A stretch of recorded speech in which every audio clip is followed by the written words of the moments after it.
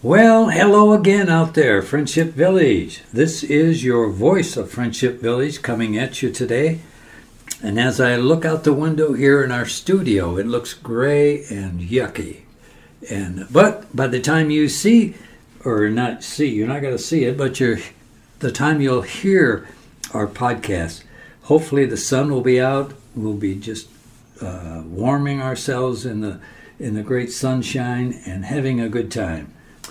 So here we are in the studio with our guest, Carole. I won't tell you the last name, but but you'll find out soon enough. And uh, but before we get into that business, we want to share with you who our sponsor is for this podcast, and it is the Housekeeping. housekeeping housekeeping department.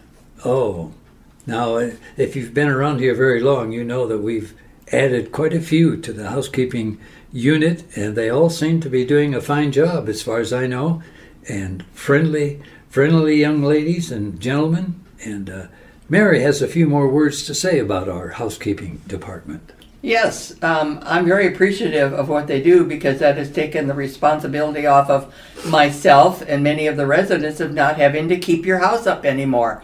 They come in and do it for you. That's part of our plan when we come in. That one of the many services they provide for us, and we are so so appreciative of it. And I just happened to have mine clean this morning. Well, it looks very nice. Yeah, yes, it does. they do the vacuuming, they clean the floors, they do the bathrooms, and for me, they make my bed, change my bedding. That's kind of hard to, yeah. to do the bedding, and um, so they do a good job. They clean the countertops and the stove and just everything. I'm so so appreciative of us as everyone is. And one of the things I like about our housekeeping unit is just their present, pleasant, pleasant manner. They always seem to have a nice smile, and they greet you, and uh, they just seem to enjoy the work that they do here. That's what I was going to So- say too. They kind of enjoy what they're doing. Yeah. They don't So- make it so difficult. Yeah. Where we would make it more like a burden. Mm-hmm. Yeah. So, so let's get on. Thank you, Mary. Let's get on with our interview, uh, and uh, let me precede that with just a couple of quick jokes. Okay, you got your joke hat on today. Uh, here's a couple. Did you hear about the invisible man who married the invisible woman? Well, their kids were nothing to look at. And how do you fix a tuba? How do you fix a tuba? With a tuba glue. and how do you clean a tuba? With a tuba toothpaste. Ah, yes, we go. So, oh, folks, there'll be more great jokes like that in our as we go along today. But first, we're going to get started with our interview with Carole. Carole Mountain is our guest today, and. Uh, she promises to have some interesting things to tell us about her life, and we would like to know more. So, Mary, get us started. All right, Carole, welcome. Thank you. Um, I thought knowing Carole for quite a few years now because we both lived over at uh, Park Lane and knowing some of the activities she was involved in, I thought it would be interesting to um, uh, quiz her a little bit about some of it. So, but we'll start out like we usually do with a background uh, and knowing where you were born. I was born uh, in East Waterloo, uh, out on a little acreage.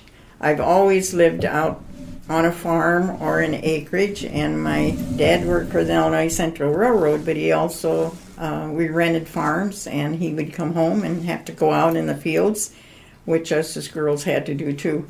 But and even after I was married, we still lived out in the country until uh, probably about 10 years ago. And then we decided to move into town.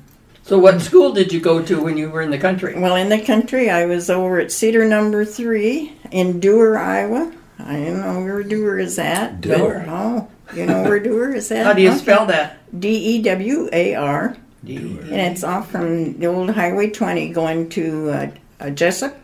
And you turn go towards Dunkerton. And Okay. it's between there and Dunkerton.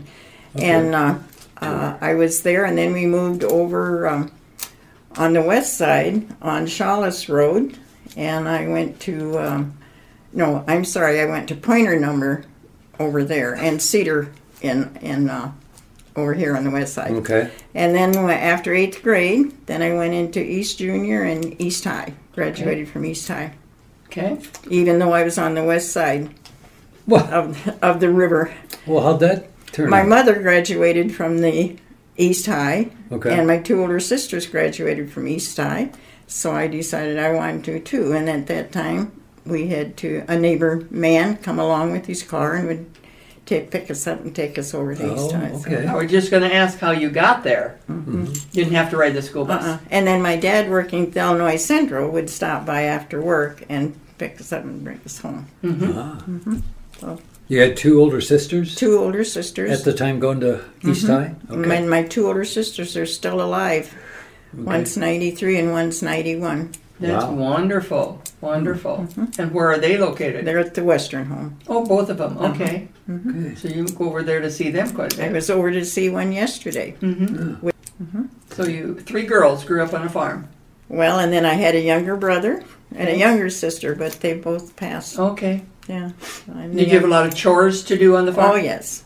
Yeah, that was one thing my sister talked about when I was there a week ago up in the Western Home. Said we'd always come home from work when he dad would bring us home and he'd say, Okay, girls, get your clothes changed. We got to go out and pick up corn or we got to feed this or feed that. So, oh, yeah, we had chores.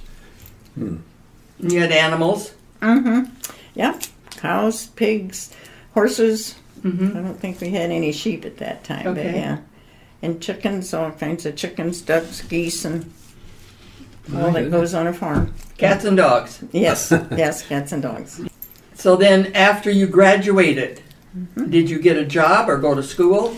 After I graduated, I got a job, and uh, I worked there. Uh, and I got married in in '53, and my husband was uh, in the Korean War. Okay. So then I stayed at home, but then I worked at uh, uh, a company in town. And then uh, after he come home, well, then I stopped working. Mm-hmm. But then, and I don't know how far you want me to go with this right now, but then uh, we had six children. Wow. And so, yeah. And then uh, when the last one was in school, I decided I'd go to work. And we went to the Walnut Ridge Baptist Academy. So I got a job in the office there and worked there for 12, 14 years. Good. Oh, Before they were all gone Mhm. out of school. So you were there when the kids were going to that school? Mhm. They'd take Oh, them in neat. and bring them home. Mhm. Okay. That's very good. What'd you have for children, boys, girls, and We had five girls and one boy. oh, Ah, Three girls, a boy, and then then two more girls. and are they all living? They're all living. Okay. The boy, our only boy's down in Augusta, Georgia. He's coming home this weekend. Wonderful. Uh, and then uh, I have For, a, for a visit? well, it's kind of a sad story. Oh. His best friend passed away, and his funeral is in Omaha.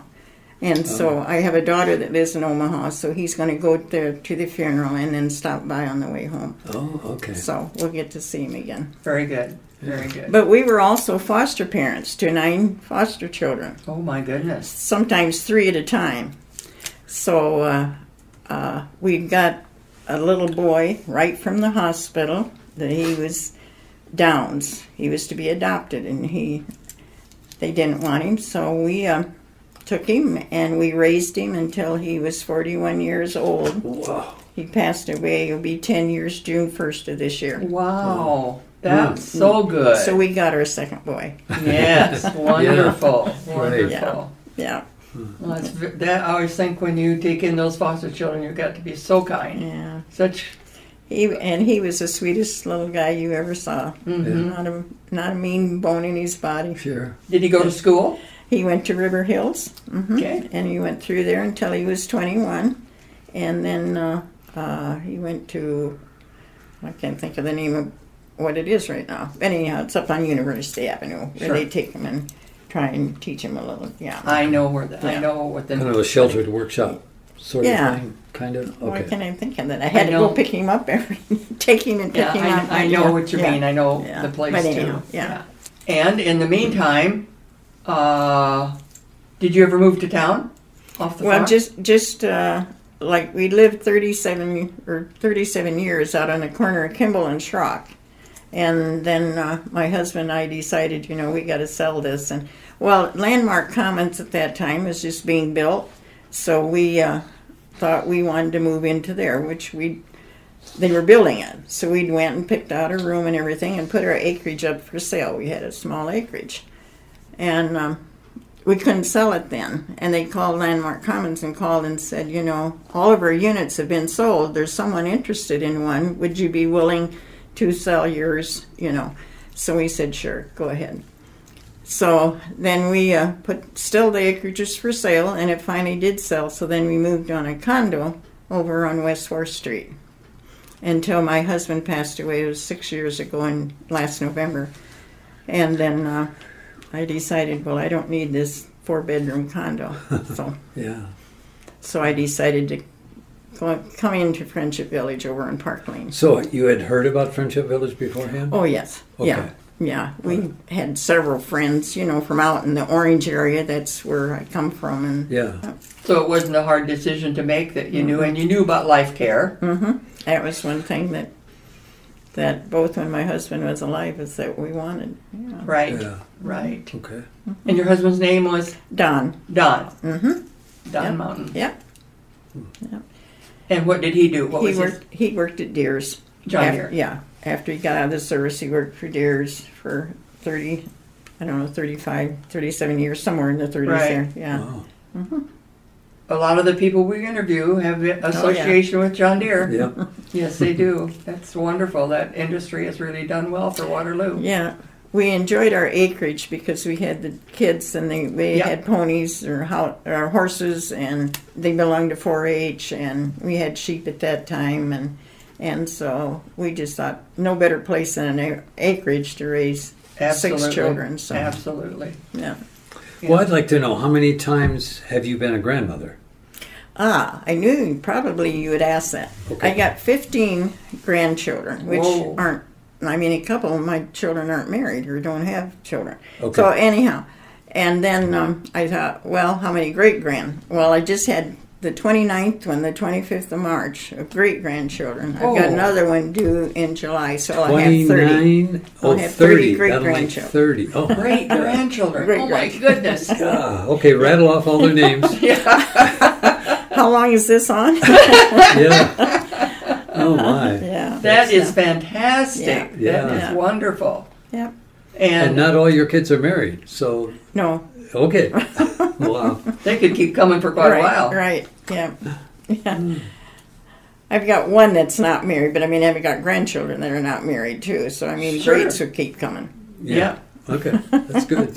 And do a lot of them live around here? The great grandchildren and the grandchildren. Uh, yes, some live here in Waterloo, Cedar Falls. Uh, some down in Cedar Rapids, and uh, the then the Omaha. Three of them in Omaha, and then my son, like being down in Augusta, his two sons live down there. So don't see them very often. But around here, you probably have company coming and Oh, going yeah. all the time, or you go Yeah. to their places. Yep. There's birthdays to Marriages. celebrate. Uh, Marriages. Yeah, I was just trying to picture a family reunion. How big a place you'd need for Yeah. all those. I don't think the cove would be big enough. Yeah, I don't think so. the event center might be. Oh, yes, Yeah. that might be. Yeah. That is wonderful. See all the things we learn about the people that we interview. and I want to bring up her gardening. Ah, She is a flower and gardener person. Yeah. I Yeah. remember when we were um, at Park Lane and we had our garden area out there. She was out there about every day working in her In it- flowers, in the and I think you had tomatoes and you had all kinds of things growing. yes, carrots. I had carrots in the garden. Yeah, the, and you know the the plots weren't that big, so you couldn't put a lot. And I know we liked tomatoes real well, and we'd always, you know, I'd can tomatoes and things like that. So yeah, and then I'd put some few flowers in. Yeah, Right. Yeah, living out on acreages and that, you know, on the farm was you love doing that type of thing. So I know. and it's It's hard to give up. yeah, We have hmm. one resident here who has a balcony, is on the balcony Yeah, side. yeah. And he had uh-huh. come off of a farm and he still brought his farm to town because he has buckets up there and he raises corn and flowers and Yeah. all kinds of things growing. It has like I know a who you're talking about. Yes, And right. I think I do too. uh, like a camouflage up uh-huh. there Yeah. of all that. But it's wonderful because it keeps him busy, oh yeah. you know, Yeah. with all the things. And mm-hmm. do you it's do you hard have, to take the farm and out of a person. It is. when you're into town. Do you have your little garden over there at Park Lane? That Not anymore. Yeah. I could, but you know, I didn't. No, I Yeah. don't know. I don't go at all. Yeah. I just have a few f- plants in my window. right, You know, Okay.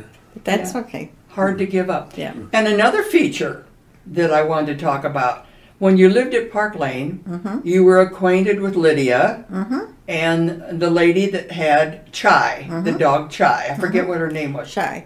The do- uh-huh. the lady. Anyway, she had this. Yeah. She was blind and she mm-hmm. had a seeing eye A dog, service dog. a service uh-huh. dog mm-hmm. named Chai. Mm-hmm. And uh, then after and Lydia took care of Chai a lot, took him out for running and and all that. Kind of looked after the dog. And after uh, the lady passed away, it was, well, what do we do with Chai? And your very gracious daughter took the dog to her farm, Yeah. And that's where he is. Yeah. Yep. He's still he's still alive and he's doing fine and yeah, and uh, she's brought him over a couple of times when Lydia was living here yet. Mhm. We brought him over and took him up to Lydia's and she when she she moved over you know to the Yes, lodge yes. and I helped her a little bit there and she says. When you can, would you bring Chai over to see me again? And he said we would do that this summer when it got nice. Right, and Chai so- probably yeah. still remembers her. Oh, I'm sure. I'm mm-hmm. sure. Yeah. Yeah. Well, Such a wonderful dog. Oh, wasn't it? Everybody It still loved is. Chai. Oh, yeah. Yeah. Really. Yeah. Yeah. He was kind of our resident dog. Yeah. Yeah. And he used to play with that little bitty snappy dog. Joyce's dog. Joyce's dog. Joyce's Yeah. dog. Yeah. Yeah. I suppose they got along. Yeah. Yeah. Well, they, seem did. to. Yeah. Yeah. So. And then your daughter that comes, one daughter has a couple dogs when Yes. she comes, and Yeah. they're very nice, friendly dogs. Yeah. And she's the one that's not married and lives in Ankeny. Okay. She'll be coming this Saturday. Or, and so, yeah, she brings the dogs too. And and uh, they're nice dogs. Yes, they are. having problems. So, Yeah. Right. yeah. Good to see them. Yeah. Hey, let me interrupt here today and just uh, bring us all back to focus for a second or two on on the housekeeping department, who is our sponsor for this podcast. And once again, we we just want to say that we appreciate their friendly manner and their their effort at keeping us clean and and uh, well, not me personally clean, but my my room clean and making my bed. I I appreciate that. And uh, so uh, so our hats off to the housekeeping department and keep up the good work. And uh, let me also venture, as long as I have the microphone here, let me venture into another joke or two. All right, let's see. Here's a co- interesting question. Was Cinderella upset when her photos did not arrive in the mail? Was she upset? No, no, no. She comforted herself with the song, Someday my prince will come. Mm-hmm. okay, that's not a real knee slapper. That's more of a- No, No, think of that. I uh, read a little joke about speaking of Cinderella. They said, "Why did she, if if she wore those shoes, and she danced in those shoes, yeah, and they fit her foot, why did she lose a slipper? Why did she lose one?" because she was jumping down the stairs and one came off. Okay, That court, that's my recollection of the movie. okay. But That question was asked though the other day. They Why said, not "Why did her shoe come off?" wow, We don't know we don't know. because she We'll wanted never the, know. she Yeah. wanted the prince to find it and find her. There's probably a joke in there somewhere. Yeah, there We ought to- probably is. probably don't know where it is. Right. Just a couple of other here points. Um, children seldom misquote. You know, they usually repeat word for word what you shouldn't have told them. Yeah, Okay. children are Okay. honest like that. Yes, they are. Okay. Uh, the world needs more warm hearts and fewer hot heads. Yes. That's a good one. That's a good one, yeah. and here's the last one of this one. Um, fear, fear is a reaction, and courage is a decision. That's from Winston Churchill. I just read that recently. Did you? Mhm. Okay. That, that's a good mm-hmm. thought. Fear is a reaction. I mean, there's a lot of things to be fearful about mm-hmm. in our world these days. Mm-hmm. Yes. Courage is a decision. Okay. All right. Well, let's get back to our to our great guest here, Yes. Carole. And uh, How long were you married to Don? 63 and a half years. Wonderful. Yeah. That's Oh. wonderful. Well, you had a good long marriage. How did you meet him? Well, we lived out in the country, and uh, it was a little, well, Millerdale is a little settlement there. That's no, no stores, nothing in there, just some people. at an And intersection about. about just about there was Yeah. train tracks that went through. Oh, yeah. Okay. Uh, but uh, we were invited to his cousin's birthday party, which was down the railroad tracks, ways in another house down there. And at that time, being his cousins, they had come out from town, and uh, they were also at the birthday party, of course. So this is where we met, Okay. Oh. and then he pursued it from him. And by the way, my sister married his brother. Oh, So Oh. brothers married sisters, and Right. that's the one that's still alive in in uh, with the Western home. mm-hmm. Her and her husband are still alive. Well, 90, both- 91 and 92. Oh, wonderful. So they've been married a really long Yeah. time. Yeah. yeah. Was it love at first sight? I think maybe it was for him. I didn't see him because he Oh. was out on the porch watching me through the window, which he Oh. told me later. And Okay. so, He had his eye on you. Wonder yeah. who that good-looking gal was. Huh? Yeah. Yeah, and I think I was only 13 at the time. I Oh. don't know. Oh, 'Cause- my. Because we couldn't go out at that time. But Mhm. with my sister, with his brother, well, we could go with them then. Mm-hmm. So we did. Oh, Until I was convenient. 16, and then I could go out alone with him. Then you were allowed to go Yeah. out. Now, how Hmm. that has changed Yeah. nowadays. Yeah, right. So, anyhow. So you've yeah. lived here about what six years or so? Yeah, across the way, two years or so. Well, just four, I guess. It was two years here at Christmas. The day before Christmas, we moved in here. Okay. First thing up in my apartment was a Christmas tree. It was already all together, so we Yeah. just stuck it in front of the window. Oh, yeah, they had our first Christmas here. So what did you like? What do you like about living here? Oh, well, goodness sakes. Now, you should ask me that some time ago. Well, I think everything about it. I mean, you know, you can come and go now that COVID is, you know, I still have my car, so I can come and go. And Good. of course, I like the housekeeping and the food brought to my door and uh, just all of those things that are new when you have your own home. Right. It's a whole change of Mm-hmm. atmosphere, yeah. and uh, we really like it. We Yeah. really get into it here. Yeah. And there's always activities that we can take part in, and you have undertaken a humongous activity. Tell us about that. Well, the 6,000 piece puzzle of Noah's Ark.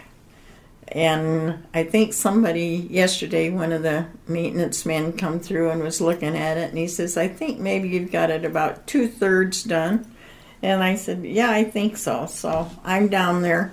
If I'm not in my apartment, I'm usually down there working on this. So, and when it's done, it's to go over to it takes the village daycare center and be put on a wall in their uh, sick room over there. Okay. That's the Okay. plans. So we'll see how that goes. Yes, that'll be quite an undertaking to get it all glued together Yeah. on a, the big board that it's on. So, what are the dimensions? It's four by six. Four by Six six six feet. thousand pieces. Yeah, Wow. yeah. You've not been down there to see it. No. You gotta Oh. just down Yeah, the you got to go Okay. down there and see Right. it. Yeah, and even put a piece or two in, which would make me happy.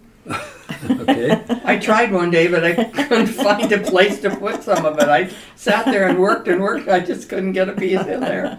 But I enjoyed looking at it. Yeah, yeah. Needed It'll to- be pretty when it's all together. And my only hope is that all the pieces are there. Yeah. Uh, the uh, puzzle had never been opened, but then with so many people coming in and out and helping, you never know. So, Okay. yeah. I've instructed the housekeepers and all to make certain before they vacuum or anything underneath the table Ooh. to look and see if there's any pieces, on the floor. Right. And there Right. has been a time or And those two. pieces have to be. Yes, yeah. Really? Yeah. They're not real big. They're not Yeah. pieces real are big. not real big. It's gonna be gorgeous when it gets Yeah, done, though. I think so. Uh, do you have any idea where you're gonna have it framed at? Well, the only thing here, it's so big and everything. We're going to glue it on the on the board, Mm-hmm. and then I thought maybe just have the men just put a frame Around around on the board there. Yeah. I don't know. We'll wait Try and to see. get it all constructed Yeah. on the same board. Yeah. Okay. Yeah. yeah. Well, it'll be Yeah. Carole Mountain's puzzle. Well, that was not what I wanted when I started. I thought it would be something that the whole so many people like to do puzzles They around do. here, Mhm. and I just thought you know they could all come and put help with it, and it'd be done in no time. But I don't have too many willing Okay. workers or helpers or I think you they want to call found it was a challenge, Yeah. and maybe a challenge that they weren't quite up to. They they like the littler ones, so Yeah, and we'll a- keep working at it. Two of my daughters are very good at doing puzzles. They like it, and the one Candace that I was talking about will be coming in this weekend, and we'll spend some There- time down there. there you She'll are. be helping me out. Yeah, maybe by Christmas it'll be done. I hope it will be done before that, but I started at October first. My my thought was it'd be nice to have it done by October first, but Right. we'll see. Right. We'll I see. think that might At least that we put happen. together. You got to almost have a, you know, a goal rather Yeah. than just let it. And we need to take a lot of pictures of it too before it goes. Mm-hmm. We'll see about that. But Yeah. yeah, you can take pictures all you want of the puzzle. Yeah. And then it'll be transporting it over there yes. and getting it home. Yeah. That'll Yeah. take something too. Yeah.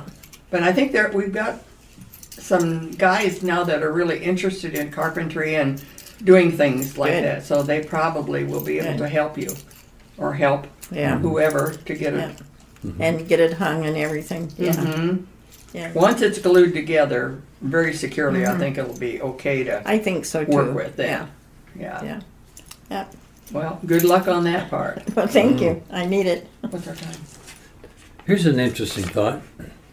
Seems true to me.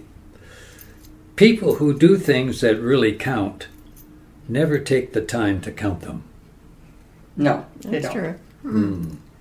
And the older you get, I can attest to this, the older you get, the fewer things are worth standing in line for. Right. That's true. That's true. Yeah. Nobody wants to stand in line anymore. No. Except we have to stand in line to wait to go eat. Well, I think as we grow older, our priorities just sort of get a little more focused. Mhm. Uh, it's just all, instead of kind of all whatever, it's all more focused and what's important is important and what isn't, who cares? Well, our Right. priorities aren't quite as great as they used to be when we were younger. We had a lot of different prior priorities, and we worked really hard to accomplish them and get them done. Mhm. And now we don't have that many priorities, and what we do have, we work on. Such wisdom coming out of this interview. Yes. It's great. It's great. And we are right at the close. So, any last thoughts or comments from you, Carole? I've told you about everything, I guess. I don't know. I think it's I- been very, very interesting. We really we did appreciate. we did have a motor home and we took her we were doing crafts and things like that we would go around down to uh, different craft shows around with our motor home and What kind of crafts it. did you do? well my husband was in woodworking he I had a lot of woodworking i'd done crocheting uh, we would bake things and uh, we would go up i think uh, to Oelwein we went down there we went down to wet uh, uh, What Cheer and uh, just sometimes my mother and I had four sisters. We would get together, each one of them done something different, and we'd have kind of like a garage sale, only it'd be a craft sale. And one sister done artificial arrangements of flowers, No? and uh, my mom was a crocheter, and another one done tole painting, and we just had about a little bit of everything. And you're a quilter also. yes, and a quilter. You've had lots of quilts hanging outside your room. yes, I enjoy Yeah, there's seeing those. Yeah, they're still hanging down there. So Yes. yeah, and I'm not gonna say anything about. I don't think. Well, I guess it wouldn't matter right now. But we've made uh, Vivian Weimer is in charge of making 72 wheelchair quilts, 36 by 36 Okay.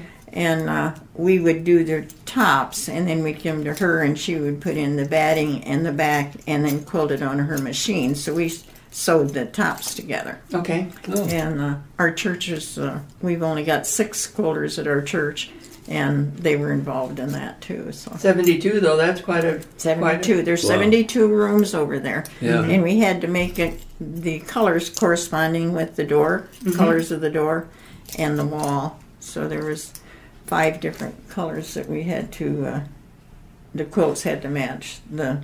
so the quilt would just sort of stay with the, the- room. Yeah, it's supposed to stay with the room. as time went on. Yeah. Will they be hung then?